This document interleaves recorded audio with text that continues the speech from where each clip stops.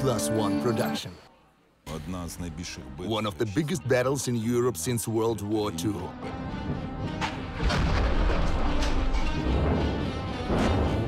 It felt like another week or two, and we would lose Bakhmut.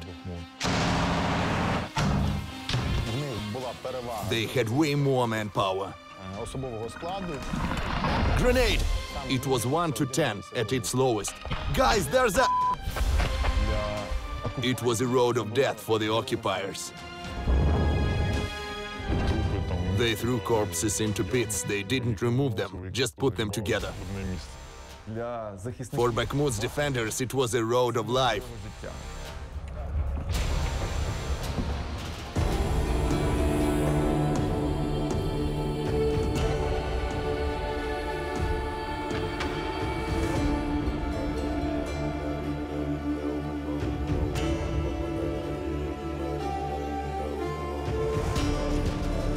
Security Service of Ukraine, Special Operations of Victory.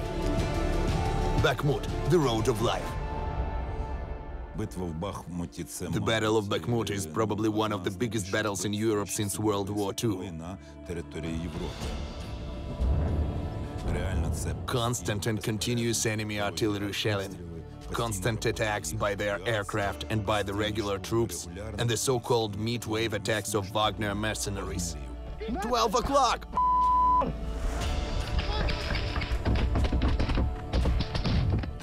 The road of life, as we call the road between the towns of Chasiv-Yar and Bakhmut, is the main logistics route there. It's how our defense forces get ammunition, fuel, and food delivered.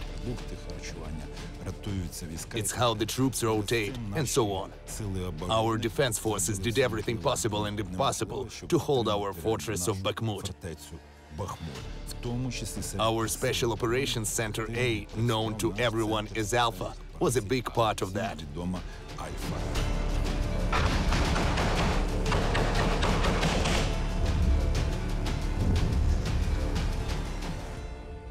The defenders fought for every building, every piece of land.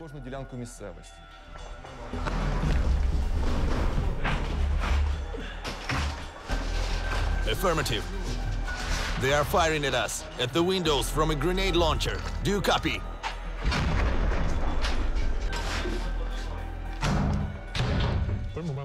It was clear the enemy wants to cut off the main supply route the so-called Road of Life, and surround Bakhmut's defenders to force them to surrender or kill them. Holding it was extremely important. We had to hold it in order to prevent the enemy from taking Bakhmut in a ring and advancing further towards the cities Chasiv Yar, Konstantinivka, then Druzhkivka, Kramatorsk, Slavyansk, and so on.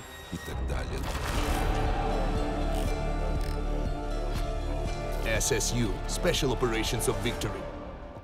The enemy concentrated there what they thought to be the most combat-capable and effective units, like PMC Wagner. It seemed they wanted to flood us with military equipment and manpower. The situation was close to disaster. They almost succeeded in taking over this last road.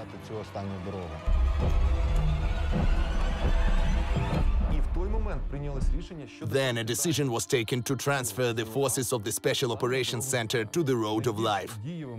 Most effective, most efficient means we had at that time in that area were sniper duos, operators of weapons and reconnaissance equipment.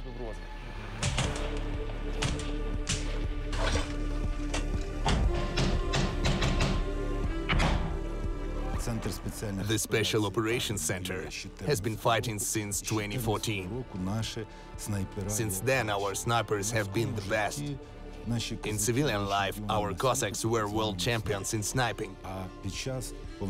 After the full-scale war started, they, of course, are on the hardest missions in the hardest spots.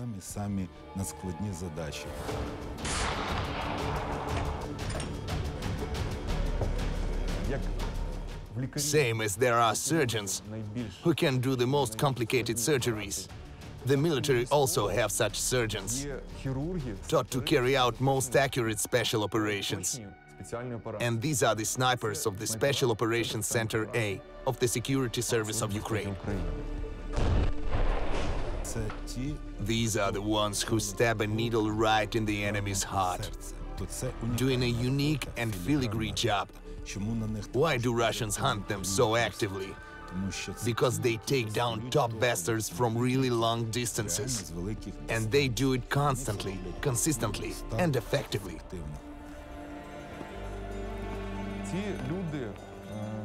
These people have been training hard for years.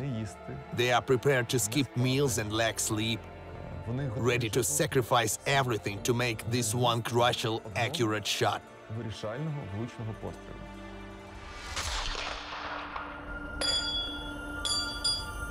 In mid February, we arrived in the outskirts of Bakhmut as a part of a sniper unit, Безпосередньо там де near the so-called road of life. They worked in small tactical groups, side by side with other defense units, and in essence provided cover for our military in that area. We had a clear task – to eliminate as much enemy manpower in the places where we can be most effective. Come in where we are not expected, do our job with maximum effectiveness and leave. And here we are. Near Hromove, there was a section where Wagner men came closest to the road of life. From their positions, they could machine gun the road of life. Guys, to the breastwork, the right trench!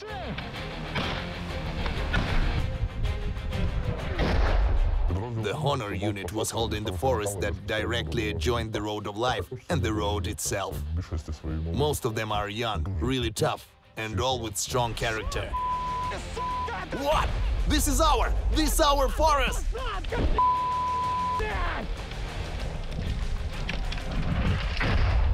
They were the last Rubicon that prevented the enemy from cutting off the road and disrupting the logistics route to Bakhmut.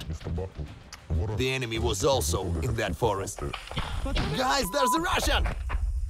Basically, every day and even night, they attempted these wave attacks to knock Honor unit out of that forest.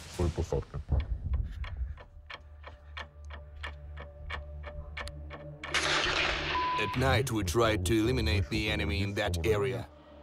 It was right in front of the unit, their frontline positions. The distance between the positions was very small. The enemy was advancing very rapidly.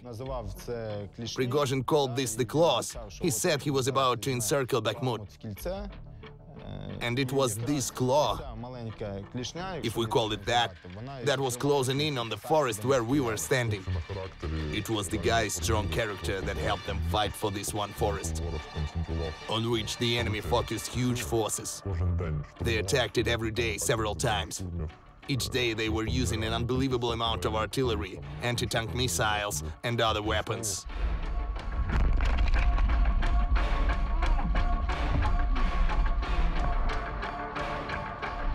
Lecha, are you okay? Lecha! The road of life was also an elevated area. If the orcs had captured it at that time, our forces would have been surrounded in Bakhmut we would have had huge losses in very combat-capable units. The top priority was to push the enemy back, away from the forest the honor company was holding. Warn your people that we are there, and let someone come to me, okay? Agreed, I'll be waiting for someone to come. One of the leaders of Special Operations Center sniper groups was an officer with the call sign Banka. Banka is a symbol, a person known to most servicemen fighting since 2014. These are the people who are actually holding the front. Banka. Smile for the camera. Stubborn, Get into places where you shouldn't always risk going to. When soldiers who didn't know him asked why he had the call sign Banka, a jar, he always said that his head got stuck in a 3-liter jar when he was a kid. This was not the case, though. It was because he was physically very fit. Banka in action,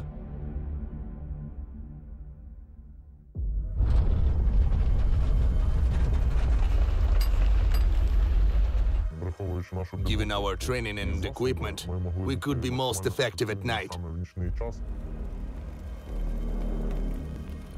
The enemy feels safer, and because of that, exposes themselves to our fire. At night, they gathered in one spot to hide till the morning. We uncovered these spots and eliminated as many of them as we could while they were on the move.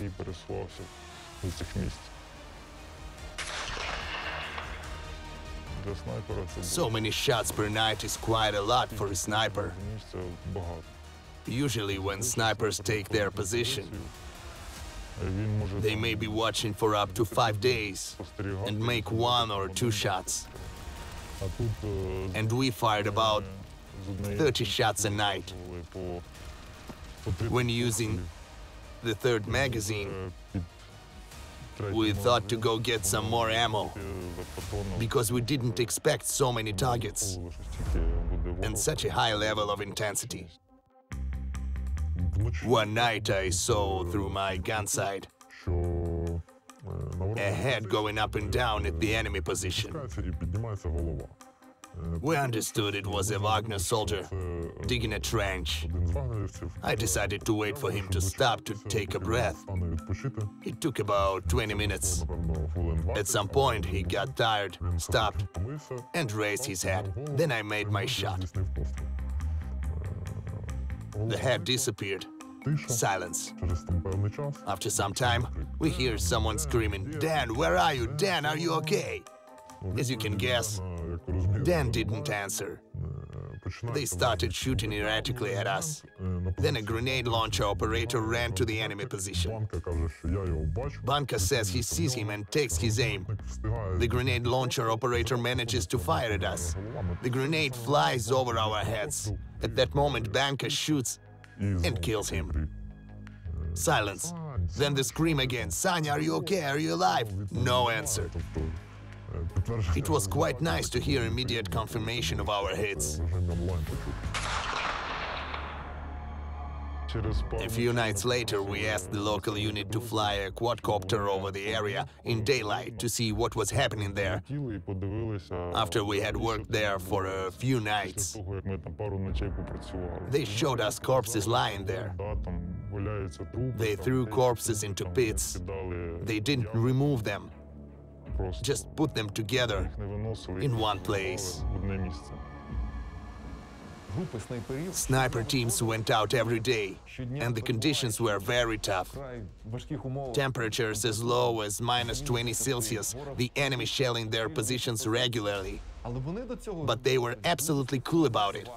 Every morning, Banka reported to me on the tasks performed and the quality of their work.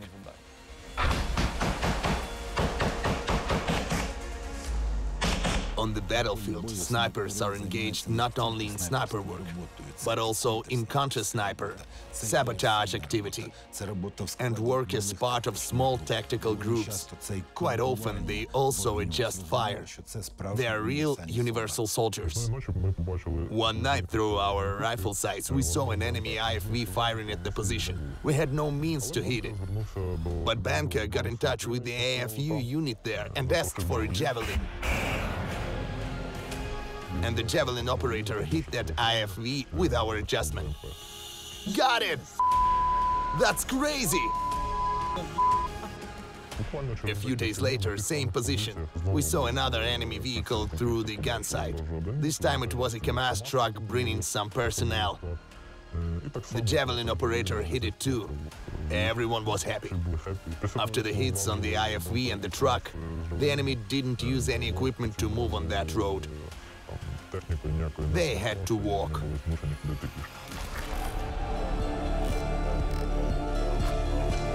SSU, Special Operations of Victory. The position where the snipers were walking was dangerous because it was exposed to fire from every side.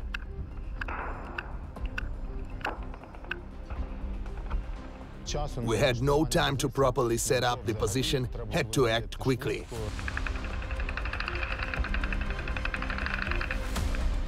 we allowed ourselves to do things snipers don't usually do. Earlier, the average distance for sniper's work in the Joint Forces operation was about 1,000 meters. Now there were 150 meters to the nearest enemy position.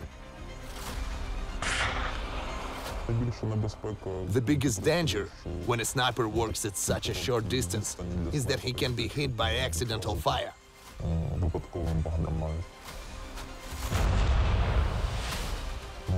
but the chances of performing the tasks better, more effectively, are higher.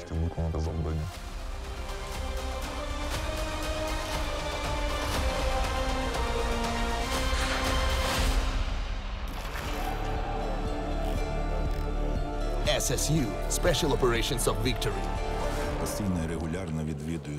I often visit my brothers in arms from the Special Operations Center in different hotspots we met in Bakhmut too. At that point, we decided to reinforce our positions with FPV drone crews. We worked near Avdiivka for a long time. After a rotation, we were deployed to Bakhmut sector, which was very intense. Don't shoot! Where are they? Grenade! An infantry group, about 10 Wagner men, were trying to approach our position. Do you see someone? There! One o'clock! One o'clock! It was an unpleasant situation. An enemy tank has fired right at our position.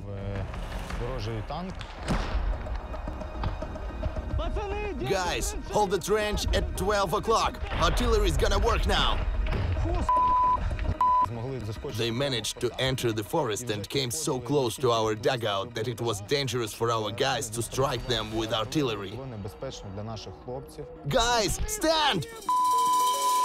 At that moment, an Alpha group helped us too, because they had FPV drone operators. With the first launch, we eliminated one infantryman on the vanguard. He used the Kevlar cape to cover himself from our drone. It didn't help him, though. A Russian is dragging a sleeping bag! A sleeping bag! A direct hit! Yeah! Phil Demon here. A kamikaze drone has just hit the... He was severely wounded. The next group was going to evacuate him rather than attack us. The wounded was some important Wagner man. Wagnerites basically never evacuated their injured, but that happened to be the rare moment when they were dragging someone important. With one of the next launches, we targeted this evac group. Our tactic was to exhaust the enemy, so we were circling above them. Same spot still. They are shooting at you. They are scattering. Take them down! First they thought of escaping somehow. They started shooting at the FPV drone. And then it struck right in the middle of this group. Oh, cool! The enemy did not carry out further offensive actions. Then we worked along supply routes, cutting off their logistics.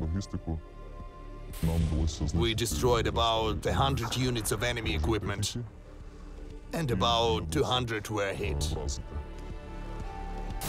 The Security Service of Ukraine leads the way in the number of enemy armored vehicles destroyed by attack drones. At Klishivka, one of our teams burned 79 enemy vehicles in four sorties. And I'm not counting the damaged pieces, only completely destroyed ones, all of them with video confirmations.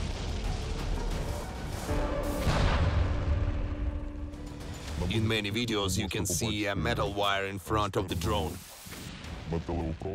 For the charge to explode at the right moment, we came up with our own detonation sensor. It's made of a metal wire that closes the electric circuit. As soon as the drone approaches the target, the antenna opens and an explosion occurs.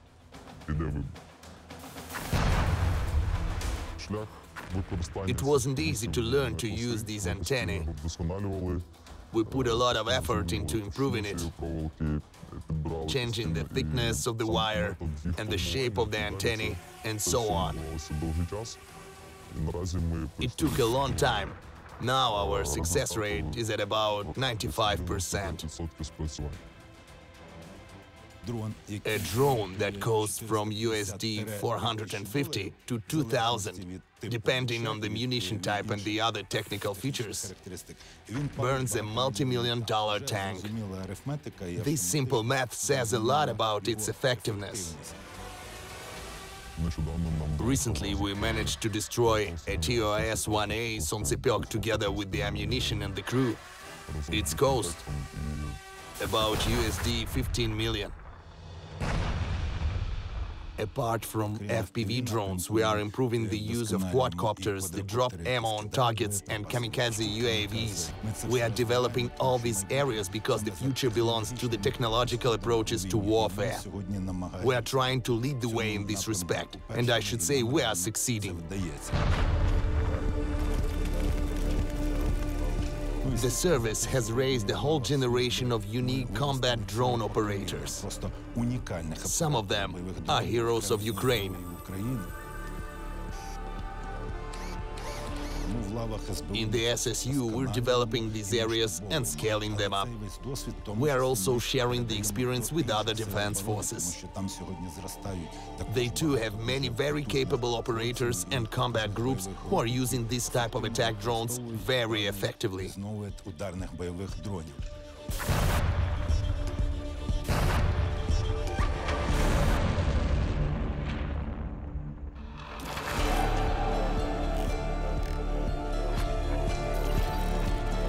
SSU, Special Operations of Victory.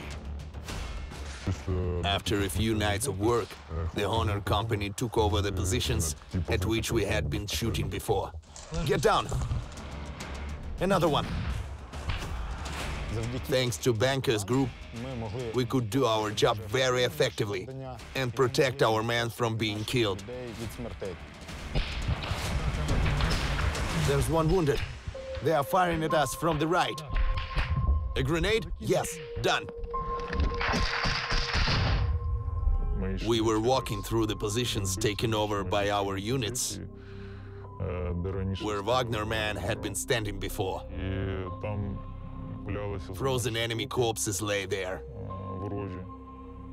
Their frozen arms and legs sticking out. The ammo lying around. Scums! You looked around and saw a nose lying, excuse my language, a piece of butt hanging on a tree. This was thanks to the snipers. They killed those who were on their way to the dugout or ventured out of it. After artillery preparation, the bodies mixed with the dirt.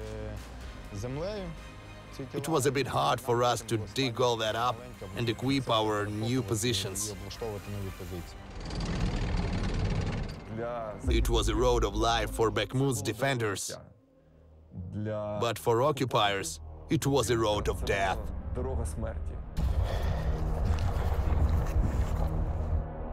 Me first, then you, Vanya third. We come in like this and stand like this. That day we were planning night work with Banka. That day, Banka went to Orihova-Vasilivka village for reconnaissance. Let's go. You start moving in five minutes. When doing reconnaissance, he always walked first. He felt responsible for his people.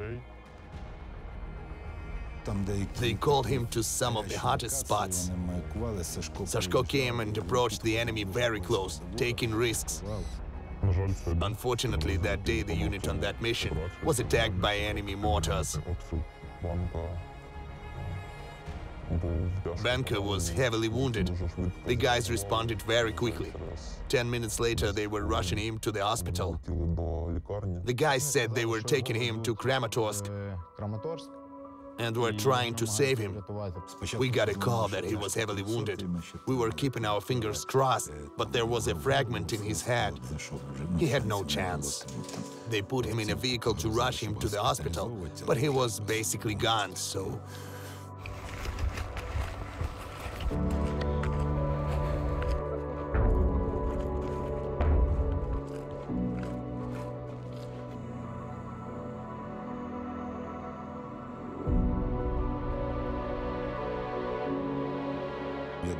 I'll allow myself to say his name. Alexander Vdovichenko. He's a full holder of the Order for Courage and a hero of Ukraine. Operations he carried out were beyond difficult. And there were hundreds of them, some behind enemy lines. And this is a huge graveyard of bastards who really deserved that. Still, I must name others as well, including the hero of Ukraine Denis Voloshayev and the hero of Ukraine Dmitro Kaplunov. They were killed before the start of the full-scale war while performing an extremely difficult combat mission. These were the people who were at the origins of this unit as such. People often say that war takes the best. In this case, we lost not just the best people, but the best warriors. Losing a soldier like Banka, who was a commander, a leader, a top-class fighter with vast experience, is a huge blow. It's a heavy loss for the unit. We were able to halt the road of life. On the one hand, it is a big victory for us. But on the other, we paid a high price for it. Heroes never die, they go to heaven and regroup, so they'll stay with us forever. I have many friends in the Special Operations Center A. These are mortar operators, drone operators, FPV drone operators, and snipers. I can confidently say that this unit has made a huge contribution to Bakhmut's defense, a huge contribution to the defense of Ukraine. In many areas, they are the best professionals we have. Keeping control over the road of life made it possible to hold the fortress of Bakhmut, prevented the enemy from advancing deeper into Donetsk region in Ukraine, towards the towns like Chasiv Yar and so on. All of this, along with other important operations, is part of our joint dynamic movement to victory together with other defense forces.